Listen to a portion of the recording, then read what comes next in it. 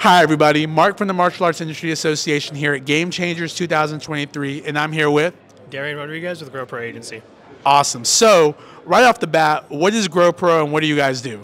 Uh, yeah, we're a digital marketing agency. Um, one of our, our, tagline is we're your partner in marketing. So we handle uh, social media management, uh, Google Business Amplifier, Google Ads, Facebook Ads. If it's online, we handle it.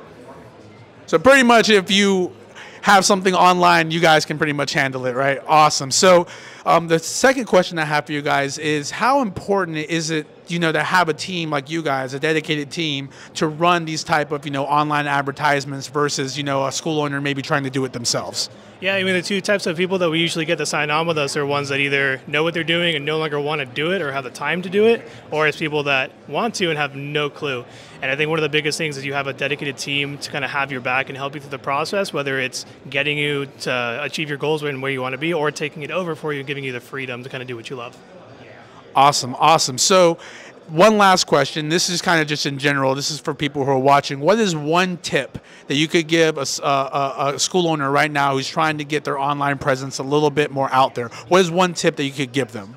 Uh, consistency in your posting and consistency in the branding.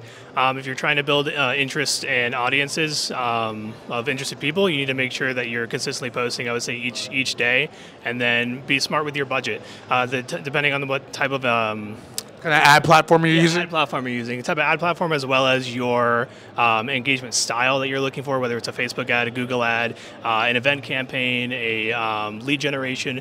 You'll have different budgeting and different targeting metrics for that. So just being really specific and intentional with kind of where you're putting your dollars that was a lot of like different things. So I can see why you guys are the team to come to because he just said like four different ways to advertise online, and I'm over here like, well, I just post on my social media, so is that good enough? but yes, guys, if you want to check out uh, GrowPro Agency, you can go to growproagency.com. Correct?